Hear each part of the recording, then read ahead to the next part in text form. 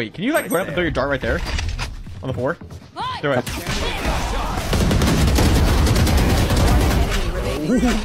they, they have to look at the dart. Yeah, they, they looked at the dart to break it and I flashed them. And they all died.